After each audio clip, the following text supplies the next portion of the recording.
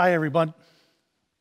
I want to share this video with you, this recording of uh, everything that we are determining to do to prepare for a relaunch or reopen date. As I shared in this past Sunday's service, Lord willing, we are targeting June 14th as the first Sunday where we'll open up the sanctuary. That can change. We want you to understand as a church council and your pastor that we have uh, prayerfully considered all the recommendations, everything that has been suggested to us, and we are seeking the wisdom of the Lord. I want to share with you, first of all, uh, what we have considered as far as our relaunching, our guiding principles. The principles are the kind of the lens through which we are looking to make these decisions. We, first of all, know the promises of God's word, they're our only hope. We also know that as the public witness of the church, we want to protect that. Again, we're not going to be rebels, but we're represent Jesus Christ and do everything for his glory.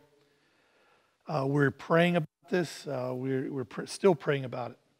Uh, if anything has to change, we're considering the particular needs of our congregation. So as we share some of these details, it's considering our congregation. We're also considering the plans of the local community, our state recommendations. Uh, we're, uh, we, we have uh, recommendations from the CDC for faith communities as uh, they prepare to relaunch and, and these protocols and recommendations. So again, we've, we've, we've researched a lot and we've taken into account a lot to come up with some of these recommendations. And so, again, our desire is to communicate with this video. Uh, it'll be on our, our website. Uh, we will communicate with email if there's any changes. Uh, and then on that Sunday and every Sunday, again, each week there may be something new, there may be other changes, but we are determined that we are going to have the safest environment, the safest place in our community you know, better than where you get your groceries or uh, you stop to get gas, uh, uh, you know, the, uh, the home improvement stores. We want our church to be safer than all those areas. And so here's a sample template, uh, some of the specific recommendations of preparations that we're undergoing and procedures when we do have a Sunday service here in the sanctuary again. First of all, we're keeping the facilities sanitized as per the CDC interim guidance for communities of faith. Uh, we're going to be providing signage. When you walk in, there'll be signs just like you see everywhere else, posting uh, the importance of social distancing and where you cannot uh, meet those social distancings that you're wearing a mask. Uh, we are uh, encouraging frequent hand washing as you arrive. We will also have the hand sanitizers uh, throughout uh, the facility so that you can sanitize your hands. We are encouraging everybody that as they, if they do come, that they bring a mask. When you're in here, if you're able to be distant from people appropriately, you do not, have, to wear the mask, but have the mask with you if we need to wear the masks. We're also asking that those individuals that are at risk or in that vulnerable population that you even stay at home. Be slower in returning uh, to our in person services. We're going to have the online service every Sunday that'll be right there live. Uh, so you'll see what's going on here. But we, we don't want you to feel pressure just to say, oh, they're open, so I have to be there. We want you to be safe. And so if you have any question, please stay at home. But as you come here, we are going to do our very best to make you safe and to provide a safe environment. Where possible, as you come in here, there'll just be one way traffic. we're minimizing the entrance ways. The front entrance will not be used at all. We're going to focus primarily on the rear entrance, the rear parking lot, that people can come in there. And again, we're going to make sure there's not any two way traffic wherever possible. We will have leadership that will be here that will help direct you as you come in. Our desire is that we're minimizing any contact as best we can. So the exterior doors will probably be propped open, or somebody will open them for you so that you do not have to handle uh, the door handles and that you'll be able to come immediately into the sanctuary. Again, minimizing any contact with uh, uh, uh objects or people. The coffee and cafe stations that we have, they'll be closed. There will not be a coffee hour. There will not be any refreshments. They'll be closed at all times for the foreseeable future. Uh, the nursery and the children's ministry, ministry areas are going to be closed as well at all times and locked where possible. They do not want anybody going into areas that aren't necessary. So, that being the case, the children uh, will have to be in the sanctuary with us. And to that end, uh, as we put the service together, we are going to endeavor to include something for the kids so that as they're here with us, uh, they'll be able to uh, focus on something as well.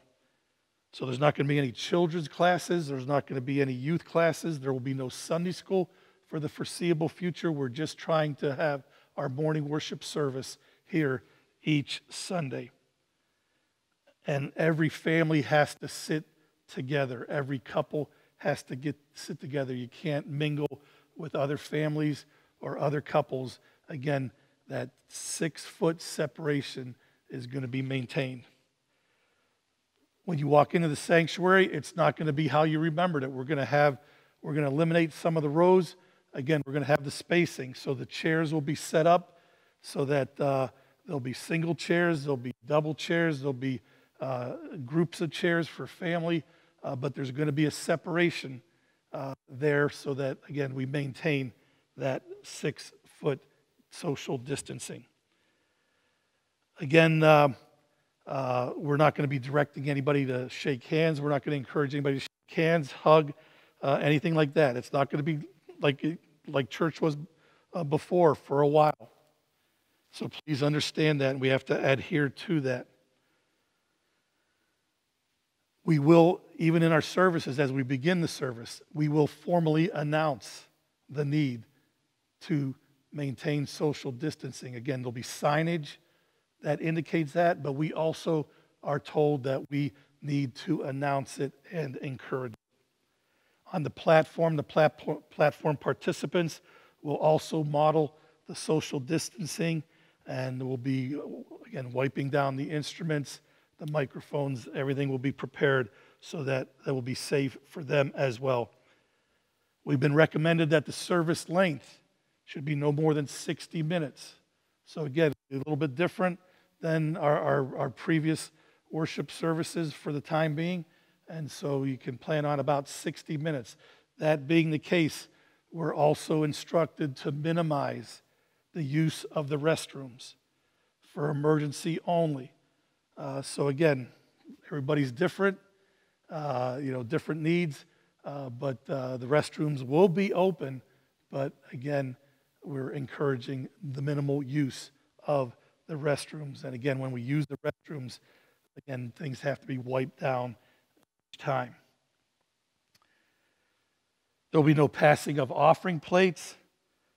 On Sundays when we have communion, we'll not be passing the communion emblems. We have ordered and we'll have uh, the communion emblems that are safety sealed and uh, can be used individually.